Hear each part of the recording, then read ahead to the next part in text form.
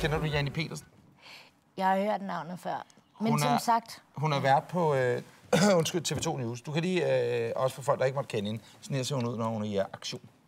Velkommen til de korte nyheder, hvor klokken har passeret 11. 11. Ja, det er fredag. Nej, undskyld. Det er tirsdag, og det er den 5. februar. Det er Janne Petersen. Vi elsker hende kort og præcis. Øh, mere kort og præcis kan det ikke siges. Nej. Øh, hun er vært, som det kan ses, og kriminalreporter. Desværre ikke kriminalredaktør, men det bliver hun snart, for hun er Danmarks fineste af slagsen. Øh, lad du mærke til hende på noget tidspunkt, da øh, du var på turné med LOC? ved du hvad, det gjorde jeg altså ikke.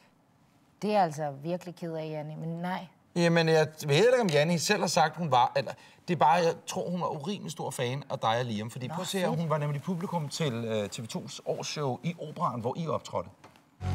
Hun er fuldt ud blæst Ja, det kan ses på hendes fulde mundfjæs Så Ej, hvor fedt, mand.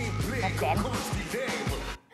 Hvad? Se, ved du hvad, og jeg troede, at hvide mennesker ikke kunne danse. Det øh, må jeg tage, tage Jeg tror godt, vi kan sige, at uh, Janni, hun er en af de hvideste mennesker, der overhovedet findes.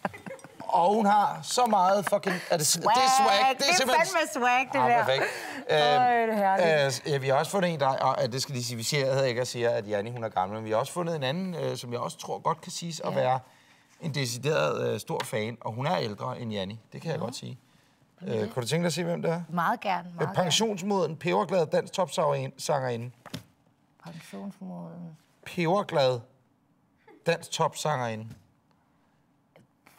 Det, det ved jeg ikke. Det er heller ikke inde i quiz, men du kan bare se, at vi ja. fangede hende, eller vil sige, kameraet fangede os inde i operan. Det er I optaget.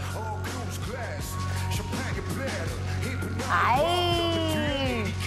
Det, det, det var lidt mindre swag, men det var, det var fedt at se.